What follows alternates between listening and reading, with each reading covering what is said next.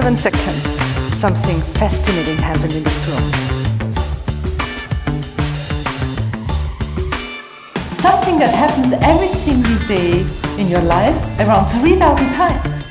In fact, science knows exactly what just happened in your brain. Your brain just made 11 major decisions about me in those first 7 seconds. You have already decided if I'm successful or not. You have already decided if I'm knowledgeable or not. You have already decided if I'm competent or not. You have already decided if I'm trustworthy or not. Fact is, you have already decided if you're going to buy from me or not. With us live in studio, we have none other than Sylvie Di Giusto who helps individuals and organizations to explore how people make up their minds very quickly about them. Bonjour à tous. Aujourd'hui, nous sommes avec Sylvie Di Giusto. People packaging is what I do, says Sylvie Di Giusto. Ganz herzlich willkommen, liebe Sylvie Di Giusto. I go into organizations and explain to leadership teams or sales teams, or I'm part of onboarding programs to make people understand what their first impression says about them and what impact it has in a second step on a customer decision making process. Today I'm gonna take you on a journey and I promise you when you leave that room you know what people think about you when they think about you.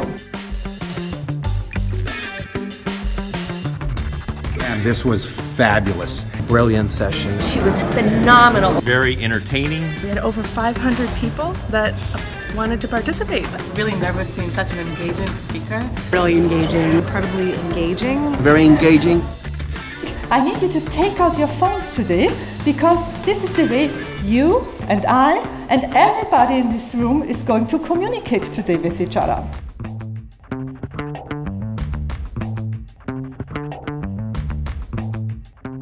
It's not your boss, it's not the company, it's just you. You are the CEO of your career.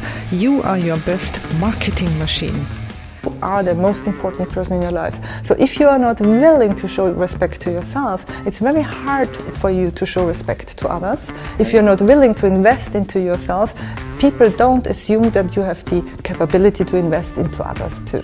I want you to make sure that with your appearance and with your behavior and with your communication and with your digital footprint, every single day you show that you care because you want to be known for your excellence you want to be known for your skills. You want to be known for your knowledge. You want to be known for the excellent service you offer.